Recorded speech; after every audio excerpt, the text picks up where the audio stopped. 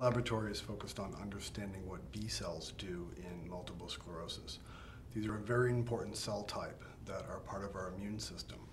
And we've recently found that when pe- people with multiple sclerosis are given a treatment that eliminates their B cells, they actually get an improvement in their disability. So it's clear that B cells are playing an important role in their disease. So what my lab is trying to do is understand what B cells are doing in the disease. We don't understand that at this point. So we actually um, recruit patients who donate their, um, their blood to my laboratory, and we interrogate the B cells and find out what defect that they have in them.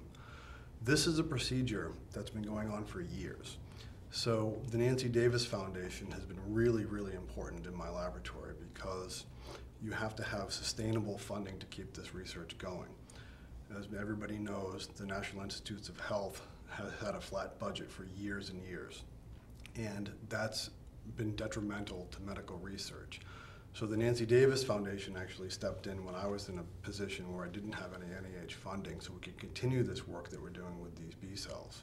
So I want to say thank you to the donors who have, who have helped raise money with Nancy Davis, and um, they've been responsible for us to be able to continue this important research in multiple sclerosis.